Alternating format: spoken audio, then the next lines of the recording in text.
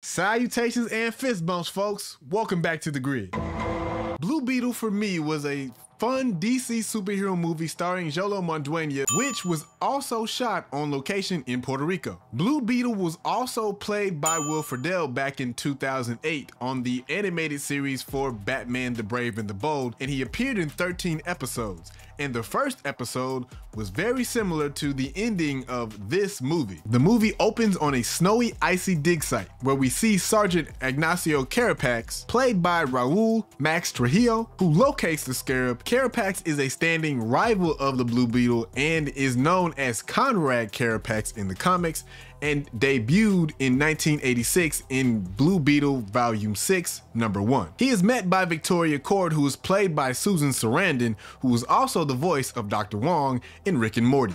You must be Rick. Mm-hmm. I've heard a lot about you today. Your family is crazy about you. Your daughter holds you in very high regard. You're a lucky fella. And Victoria Kord is CEO in both the comics and this movie of Kord Industries. In her first encounter on screen, we hear her mention Promethium, which at present, Promethium is slightly tossed around the DCU as its vibranium. However, in the comics, there are two versions of the metal alloy, both super powerful but distinguishable in their effects There's depleted promethium. It happens when the alloy is mixed with titanium and vanadium, it becomes an invulnerable metal, which is what Cyborg's cybernetic parts are made of. Volatile promethium is a little bit different. A dangerous mutagen that can mutate living beings or enhance or start their metagene. It was used to create superhuman criminals like Deathstroke and his mesh armor, sword, and staff are made wholly or in part by volatile promethium. And this also looks like the base of what Kord Technologies machinery is based from. And hey, if you're getting some value so far from this video and understanding a lot more of the underlying things inside of the film,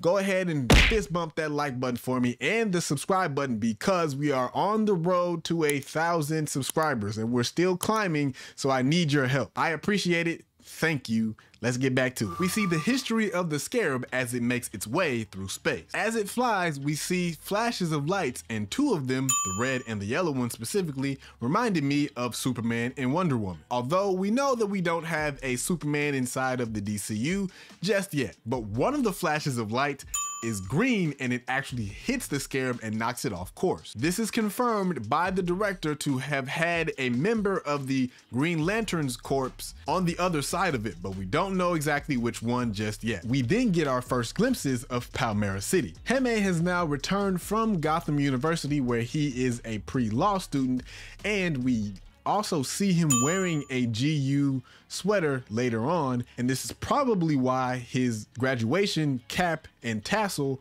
are black and gold because Gotham's colors are usually black and gold. And this guy is on Tinder. There's also a sign that says voted number one rated tax rate for corporations in America, which means that this city is being industrialized or has been in the past.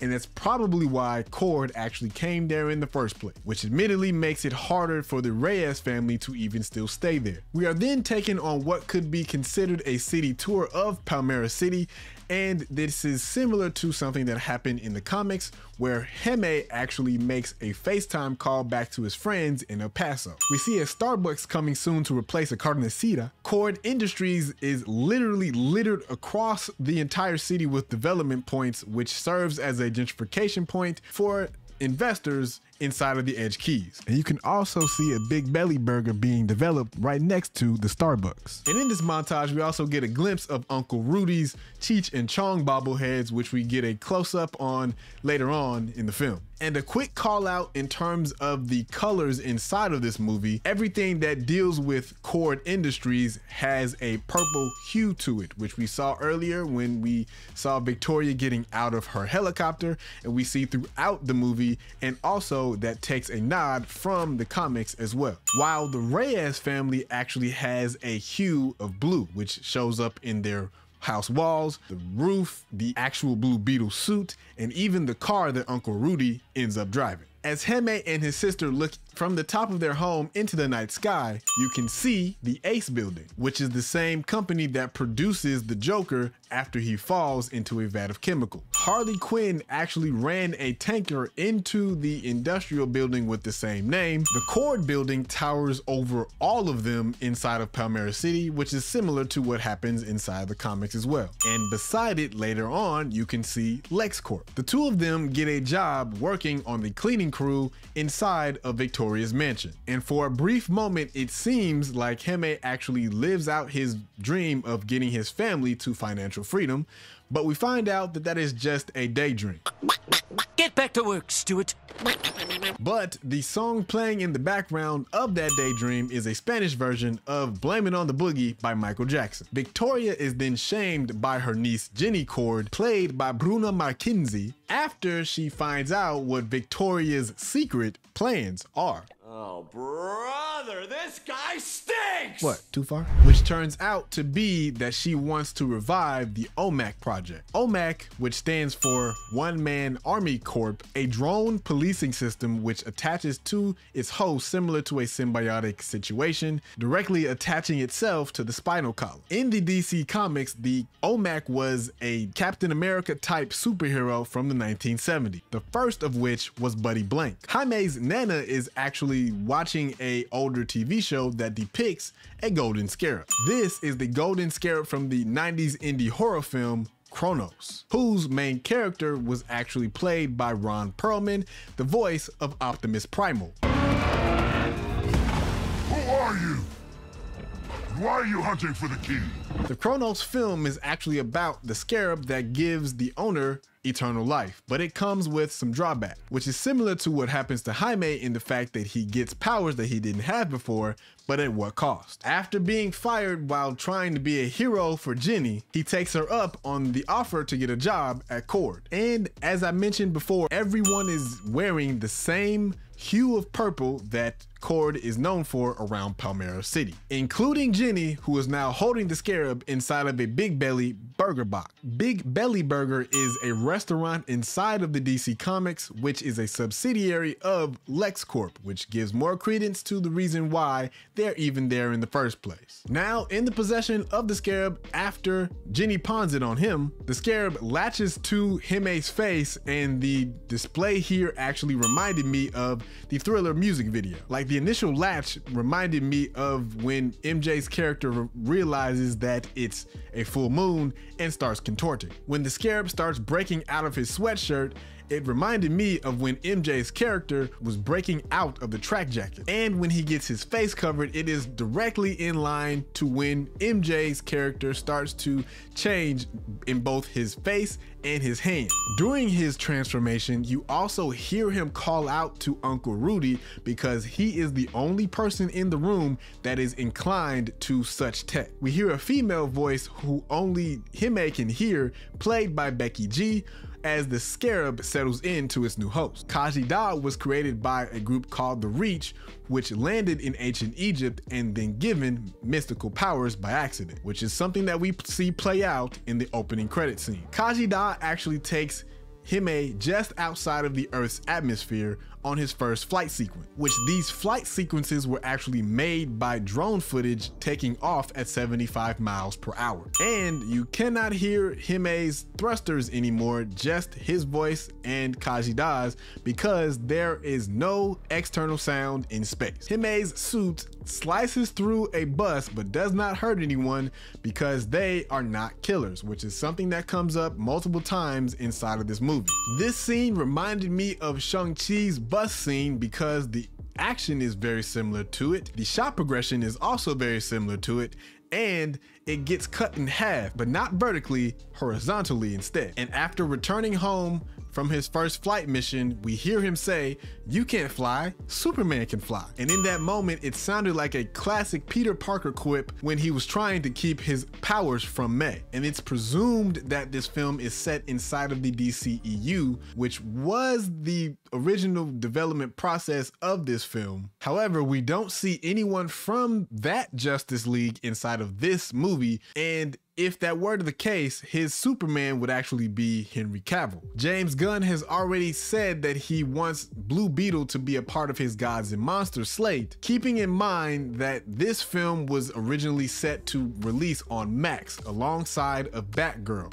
However, Batgirl is now canned completely. Michael Keaton would have been the Batman of that universe. And in The Flash, we actually started with a Ben Affleck Batman, then went to Michael Keaton, and then ended with a George Clooney Batman. And just a random theory to throw out here, we saw that George Clooney's Batman is somewhere out in the multiverse. And that means that if you remember the 90s Batman and Robin movie, Gotham was lit up like a Christmas tree in Times Square, and it is the same aesthetic inside of Palmera City. So it possibly could stand to reason that both of these cities happen in the same universe. And I can almost definitively say that there is a Batman inside of this film's universe, and particularly inside of this film somewhere, because Uncle Rudy actually says that Batman is a fascist. So if there was no Batman, how would he actually know that? It's all very confusing. And to make everything a little bit easier, I'm just gonna place this movie inside of the DCU Limbo verse. Jaime then picks up Jenny and she explains the history and the reasoning behind why it chose Jaime as its host. And this is one of the best moments for me inside the film when Jaime shows the scarab in his back again. You can hear his sister go, Oh, I forgot how bad it looks. Rudy, Jaime, and Jenny break into Kord Towers. And by the way, Rudy is definitely the guy in the chair, aka Alfred, in this movie. They steal the smartwatch that used to belong to Ted Kord, and on the mantle, you can actually see Ted Watch, then running into Carapax, who has now fused himself with the OMAC prototype. Khaji-Da then takes the wheel and gives Carapax a few haymakers, even against the wishes of Jaime, which then allows him not to kill Carapax because they are not killers, which actually ends up being a good idea later on. While turning on and messing with things inside of the laboratory, we hear Rudy compare Blue Beetle to Superman in Metropolis and Flash in Central City. And in the lab, we see the suits from the previous Blue Beetle eras the Ted Kord era and the Dan Garrett era. But a seed is planted when Jenny walks up to one of the empty mannequins depicting or displaying that a suit is being used, possibly by her father, Ted Kord. The ship that they pilot later on is fairly comic accurate, if not exactly, and you might recognize it from a different character from a different universe because the Blue Beetle concept inspired Night Owl inside of the Watchmen universe. We see a snack box of Oreo cookie, which is a favorite snack of the Martian Manhunter. Though in the comics they are also called Chocos, which is probably because of legal reasons. But this Easter egg is directly confirmed from the director to imply that Ted Kord and Manhunter have been on adventures. And the last time that we saw Manhunter was inside of a Snyder Cut Justice League film. So could this be tied to the DCEU? Nah. Jaime figures out how to summon Khaji-Da when he understands that it will not let him die. So he takes a leap of faith or desperation because he literally just heard Victoria heading to his home in the Edge Keys. And the way that the next sequence was shot with the blinding lights the neighbors coming out of their homes, peeking out of their doors, and the huddling of the family trying to stay together, even to the point of creating a human link. This is all shot to give the emotion of what would happen in an ice raid. This was also the portion of the film where the hate for Victoria went from a six to a 12 for me because the fact that she even called this strike in the first place seriously made me hate her. And the fact that Alberto dies in this sequence makes it even worse. And I figured that this was going to be the straw that broke the camel's back in terms of his health situation, but it shows how stressful and anxiety inducing it is to live inside of communities like this. Jaime gets distracted, allowing Victoria to use the claw.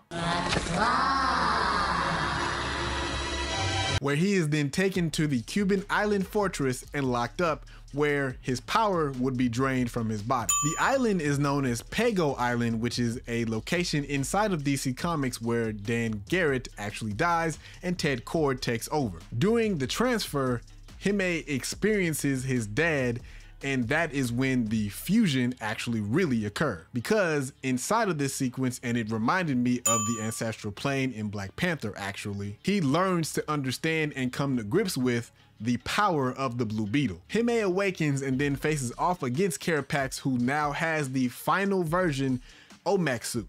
But Jaime is not alone in his fight against Victoria and Carapax because his entire family joins in on the fun. And it's actually cool to see that one of the gadgets used by the family, specifically his sister, is a Nintendo Power Glove, which came out in 1989. Oh, and by the way, a DC character by the name of Dead King actually uses a power called the Power Glove. Jaime actually battles against Carapax and during all of the losses that he has now experiences, almost kills him. Khaji-Da reminds that they are not killers, which is a similar thing that he said from earlier stopping her doing the same. And in that moment, Khaji-Da shows Jaime the life of Carapax and how he was enslaved and brainwashed pretty much into doing what he did for Victoria. During the beginning of this battle sequence, we actually see the Buster Sword, which comes from the 1997 Final Fantasy game,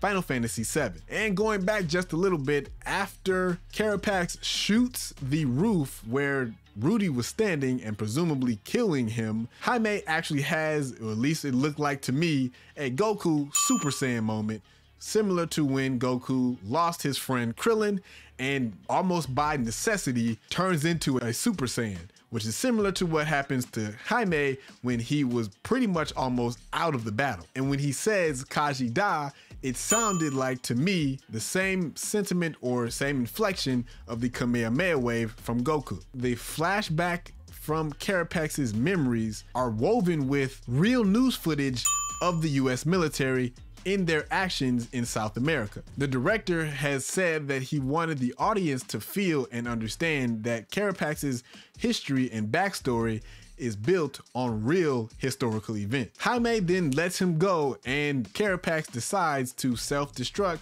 with Victoria in hand along with the island. Jenny then takes over Kord Industries and pledges to rebuild the Reyes home. And Jaime and Jenny finally get that kiss that has been hinted at the entire movie. So, with all of that said, where is Ted Kord now? Well, from a recent comment from the director, it is possible and stands to reason that he's stuck in time with his good friend Booster Gold, which in the comics they spend a good amount of time together, and Booster Gold is already slated to get a Max TV show. Add to this that Booster Gold is also Jaime's mentor in the comics. So it stands pretty much on its own that Ted Kord is probably with Booster and we'll probably will see a Blue Beetle sighting maybe inside of Booster Gold's TV show. And it has already been confirmed that Blue Beetle will show up back inside of the DCU at some point. But yet another theory could involve the Reach, who invented the Scarab and maybe Ted on his quest and his research about Khaji-Da possibly gets in trouble with the Reach, and now he has to rectify that grievance because the director has already said that the Reach could play a part in a Blue Beetle sequel. And you probably have a whole lot more questions. Well,